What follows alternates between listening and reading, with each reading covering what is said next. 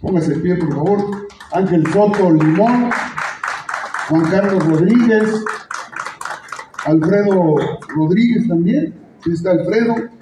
Félix Ramos también está. Eh, ¿Quién más me falta? David. David.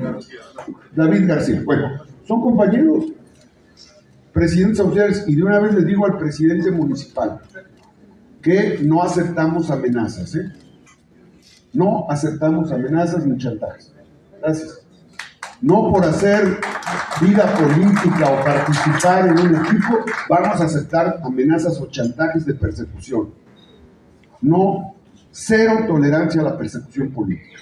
Entonces, señor presidente municipal de Puebla, no porque los presidentes auxiliares estén participando con el senador del el Senado de la República, vamos a aceptar persecución política, porque entonces sí, vamos a actuar con todo el peso de la ley, con todo rigor.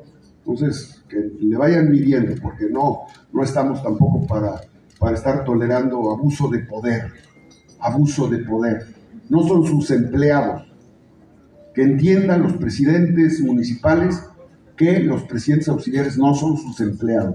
Son autoridades electas por el pueblo y tienen libertad de participación y tienen todos los respaldos.